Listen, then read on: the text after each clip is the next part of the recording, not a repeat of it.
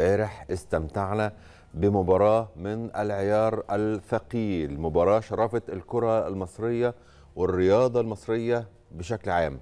امبارح الأهلي والزمالك قدموا أداء ولا أروع صورة ولا أجمل. عملوا لينا سهرة كروية من اللي كنا بنستناها من زمان.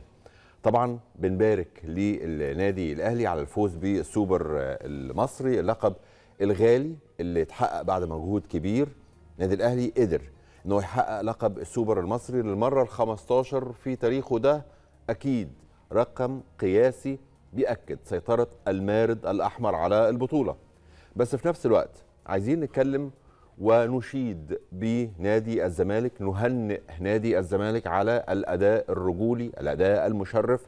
بصراحة كانوا على مستوى الحدث وعملوا مباراة ممتازة ولنا هنا وقفة. يا جماعة إحنا عايزين نتكلم شوية عن الكادر اللي إحنا شفناه امبارح.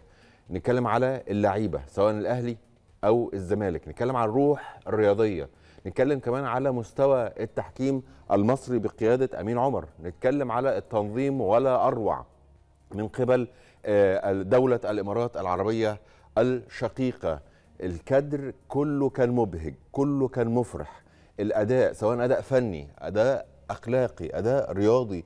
امبارح إحنا امبارح كنا وحشنا إن إحنا نشوف حاجة جميلة كده بكل الأصعدة وعلى كل الأصعدة وعلى كل المستويات منه. حقيقي ده كان واضح جدا امبارح التحكيم المصري كمان تواجده في مباراة زي دي. صحيح.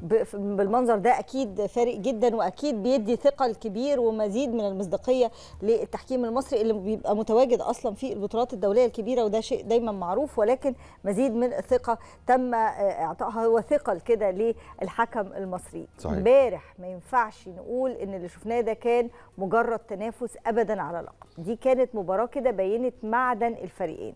روح قتالية تركيز عالي من أول دقيقة لغاية ركلات الترجيح لغاية آخر شوطة.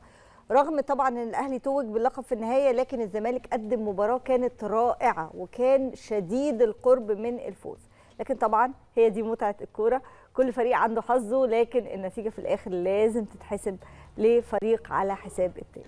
كمان لازم نتكلم ونشيد. إحنا مش بنتكلم على 90 دقيقة إحنا بنتكلم على 120 دقيقة.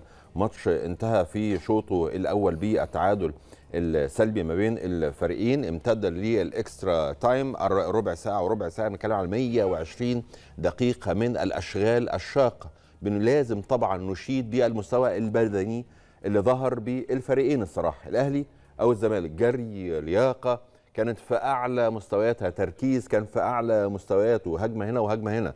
أكد طبعا الاستعداد أكد التركيز اللي كان قوي ما بين الطرفين المتنافسين. يعني المباراة امتدت زي ما قلنا لأشواط إضافية رغم كده اللعيبة كانوا في قمة تركيز لغاية ركلات المعاناة الترجيحية.